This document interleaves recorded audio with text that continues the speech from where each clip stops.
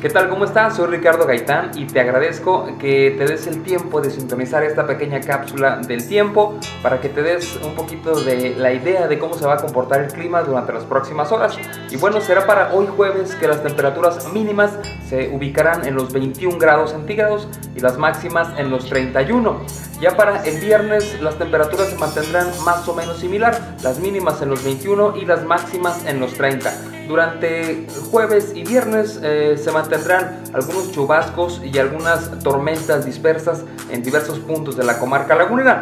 Esto se debe a que, pues a la tormenta tropical eh, Manuel, eh, que se encuentra a 133 kilómetros de La Paz, Baja California Sur, afectando además a Sonora, Sinaloa y por supuesto el estado de Durango y Coahuila. Por otro lado también este, un posible ciclón tropical por el Golfo de México, afectando el sur y el sur suroeste y el oriente de la Ciudad de México.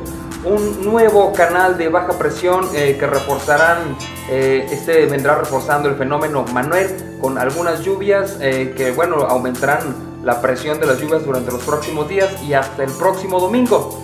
Pero antes de eso, el próximo viernes se dejará sentir el frente frío número uno, del cual ya veníamos platicando un poco. Y bueno, este entrará por los, Estados Unidos y llegará por el este y el suroeste de México. Así que tengan mucha precaución, se acerca el frente frío número uno, además de los fenómenos de los que ya nos estamos dando cuenta un poquito. Tenga mucha precaución, sobre todo si va usted a manejar durante eh, los momentos en donde se esté presentando la lluvia. Recuerde que las llantas no funcionan muy bien con el pavimento. Yo soy Ricardo Gaitán. Te agradezco además que pongas like en las publicaciones que hago acerca del clima. Muchísimas gracias de verdad.